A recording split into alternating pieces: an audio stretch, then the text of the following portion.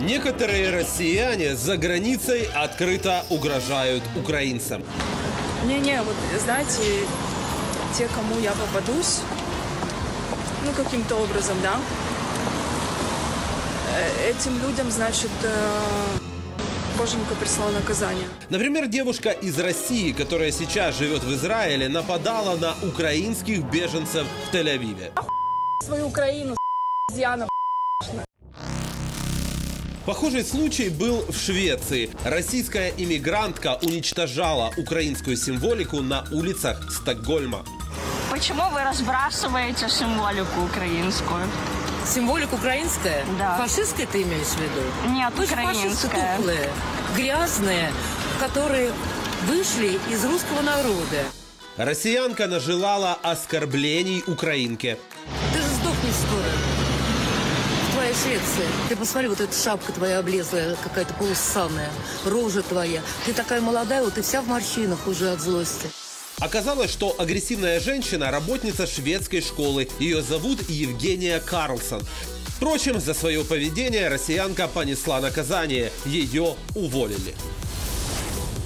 Этот человек больше не при исполнении служебных обязанностей и не вернется. Мы решительно отмежевываемся от оскорбительных мнений, которые она выражает, говорится в сообщении, размещенном на сайте школы. Утратил заработок еще один российский иммигрант. После того, как мужчина решил провести автопробег в поддержку российской армии в Германии, его бизнес накрылся. Страницу его автосервиса пользователи захейтили. Реакция точно не ожидал. Вот мы организовывали вместе. После общественного осуждения отказа клиентов обслуживаться в его автосервисе мужчина решил раскаяться.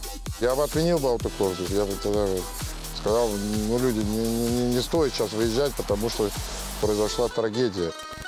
И если некоторые россияне устраивают акции поддержки войны против Украины, то другие мешают проводить мероприятия украинцам в Европе.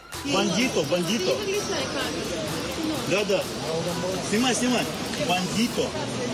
А, точно. Информацион.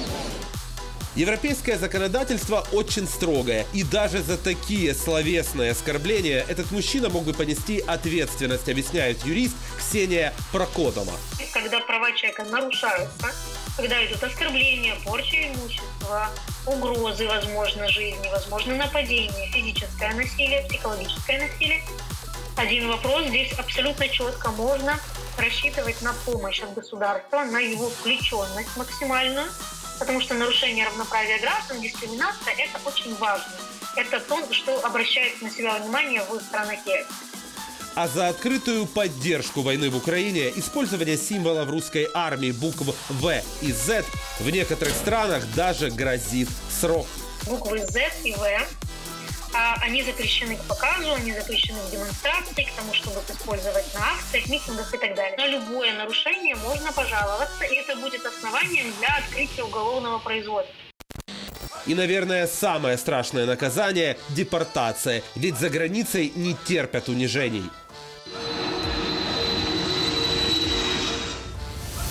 Для иностранцев это имеет а, последствия миграционные риски. Их могут лишить вида на жительство, потому что есть такое основание, как грубое нарушение административного, уголовного и так далее законодательства. Во-вторых, а, депортация Так что россиянам, которые сейчас живут, учатся или работают за границей своей страны, лучше 10 раз подумать, прежде чем открыто призывать к войне.